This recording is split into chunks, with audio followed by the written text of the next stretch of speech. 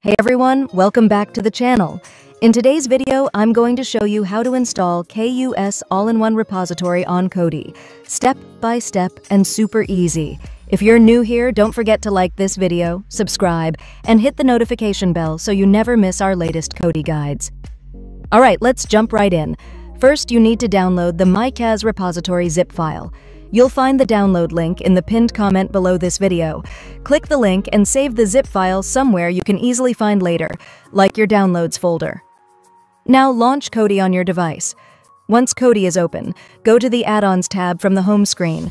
In the top left corner, you'll see a small open box icon. This is the package installer. Go ahead and click on it. Next, select Install from Zip File. If this is your first time installing a third-party repository, Kodi may show a warning about unknown sources. That's completely normal. If you see the warning, follow these quick steps.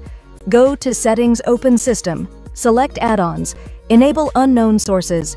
Just remember, third-party add-ons do not receive automatic updates. Once that's enabled, return to Install from zip file. Navigate to the folder where you saved the KUS All-in-One repository zip file.